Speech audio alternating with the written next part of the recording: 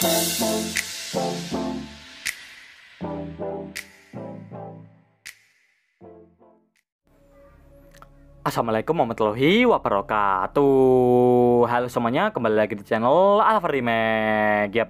Oke nih, jadi di kesempatan kali ini saya ingin bikin tutorial bagaimana caranya untuk membersihkan change atau sampah di aplikasi Star Maker teman-teman ya. Nah, mungkin kalian merasa aplikasi Star Maker kalian itu lebih lemot dari yang dulu.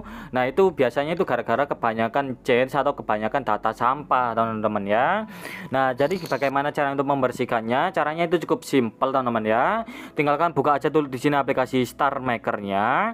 Nah, kita buka teman-teman ya di sini ya, kita tungguin. Nah, ini sudah mulai masuk. Nah, kalau kalian sudah masuk ke tampilan awal atau tampilan utama dari Star Maker, kalian bisa lihat di bagian pojok kanan bawah. Nah, di situ kan ada tab Mi, teman-teman ya. Mi atau saya tinggal kalian klik. Nah, kalau kalian sudah masuk ke tampilan Mi kalian atau tampilan profil kalian, kalian bisa pilih aja di bagian pojok kanan atas, teman-teman ya. Nah, di situ kan ada kayak pengaturan tuh ya, ada ikon pengaturan atau setting bisa kalian klik. Nah, kemudian tinggalkan scroll aja teman-teman ya ke bawah. Di sini ada clear change, teman-teman ya.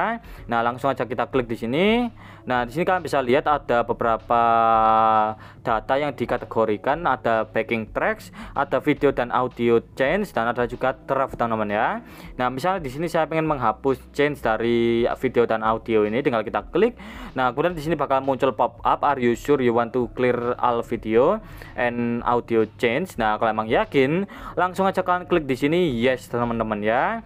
Nah, kalau emang sudah dan di sini sudah muncul clear successfully, berarti kita sudah berhasil untuk membersihkan change atau data sampah di aplikasi Star Maker teman-teman ya. Nah jadi begitulah caranya. Caranya itu cukup simple kalian bisa ikutin aja step by stepnya.